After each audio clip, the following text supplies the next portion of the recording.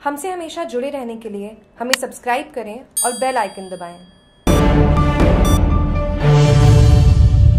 पाली, अवैध मादक पदार्थ के खिलाफ पुलिस थाना कोतवाली की कार्यवाही 11 किलो डोडा व 800 ग्राम अफीम के साथ एक अभियुक्त को किया गिरफ़्तार श्री राजन दुष्यंत आई आईपीएस जिला पुलिस अधीक्षक पाली ने बताया कि जिला पाली में स्पेशल एक्ट के तहत चलाए जा रहे अभियान के तहत अवैध रूप से डोडा पोस्ट व अफीम की बिक्री की रोकथाम के तहत थानाधिकारी सुरेश चौधरी, निरीक्षक पुलिस पुलिस थाना कोतवाली के नेतृत्व में निम्न टीम का गठन किया गया।